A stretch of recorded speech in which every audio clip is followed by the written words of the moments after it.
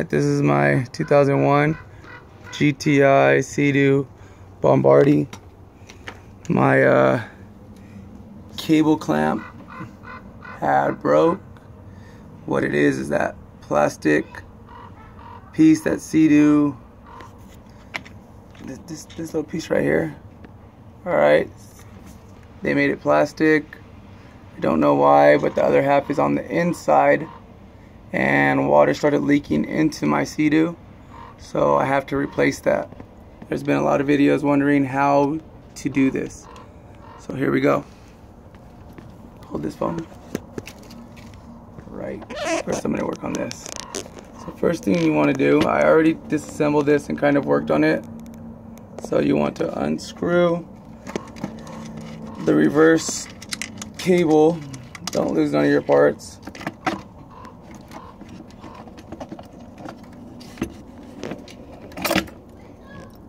Alright. So, um, there backups on? Or no backup, just zoom out. Right there. Alright, so then you want to unscrew this latch here. You have to remove all of this so you can remove that the broken plastic piece. Now it won't come out unless you take off all this little rubber and plastic. So as I did there, they had a couple pieces here, here. Now this will come right out. So there's also a gasket on the inside of that uh, piece that goes inside so it doesn't allow it to leak. Now I already unscrewed the plastic so you guys don't have to see me fighting it. It did take a while and it was hard to do.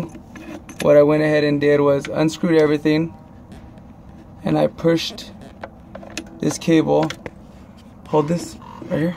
Hold the phone right here. So I push this cable on the inside, see there? So it's easier to work.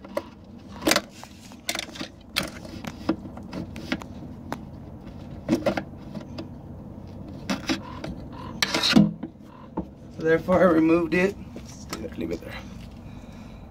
And I got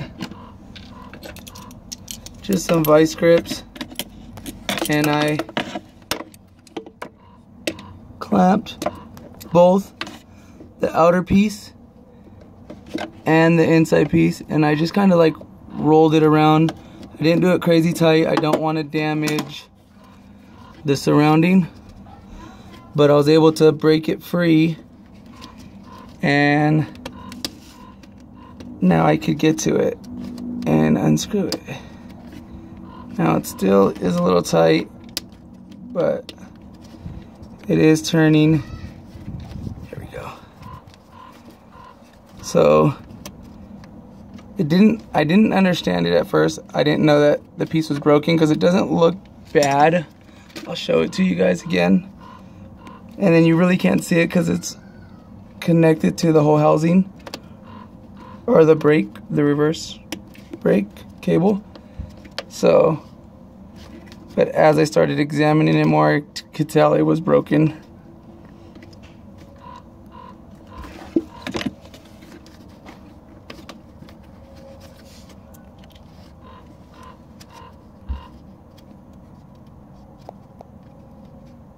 Huh.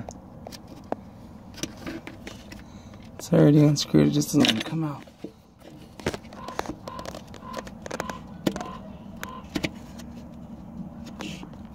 Sorry for blocking the view, I just need to get it completely out. So therefore I could show you. But that's the gist of it all. I ordered the uh, the actual cable lock. That's what it's called, a cable lock on Amazon, 10 bucks. Uh, doing it myself probably saved me a couple hundred bucks. Uh, as I do with all my other videos. Um, check them out. I know not everybody drives a Toyota Prius, but I changed the reverse window on a Toyota Prius as well. Uh, also towed a truck. with my Toyota Prius. Actually, I pulled it out of the mud. But, whatever. Just conversation while I try to take this piece out.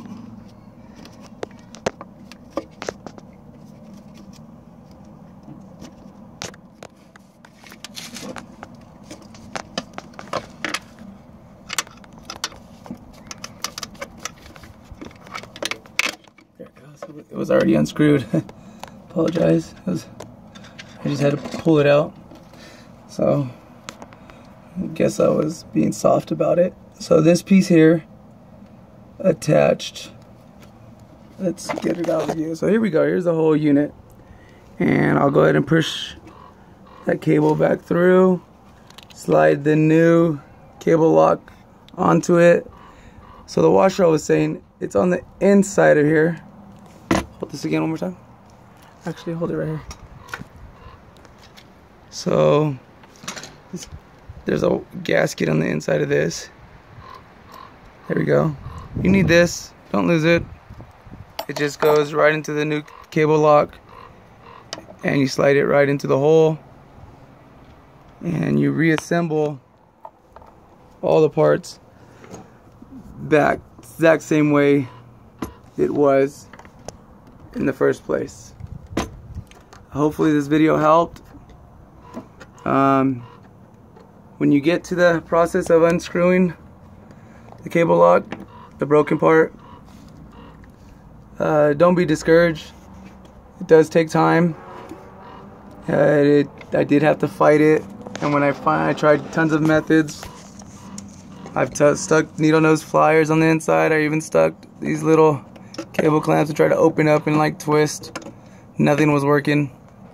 Uh, until I used the vice grips and that actually loosened it, and then I was able to work it with my fingers. So that's my video for my 2001 GTI Sea-Doo Bombardier. I'll have it done up and running as soon as the piece comes in the mail. Um, awesome. There is a website where I do go get all my parts. I just typed in on Google a 2001 Sea-Doo GTI, my, my Sea-Doo basically and I went to parts and scrolled down to reverse cable lock. Uh, I could actually show you the video here. Let's go into where the light doesn't mess it up too well. So here this page. And I mean, it's not tricky. It's not rocket science. So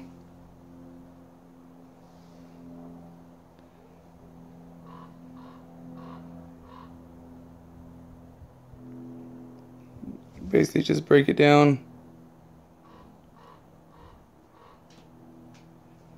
See, so here's my make.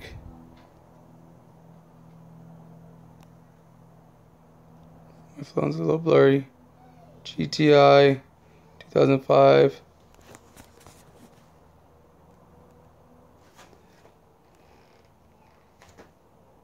Went down to reverse.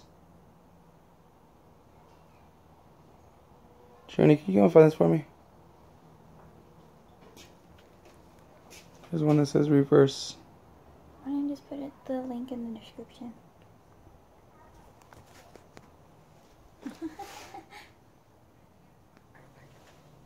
so here it is. You look for reverse.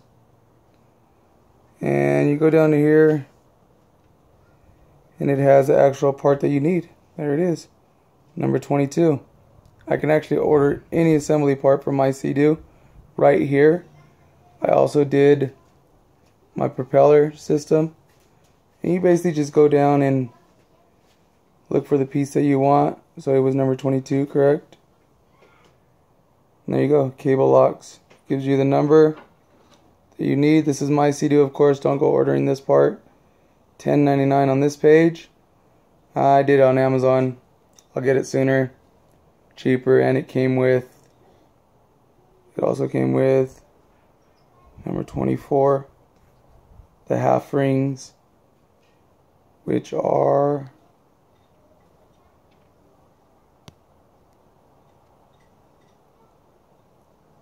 right there, number 24, half rings.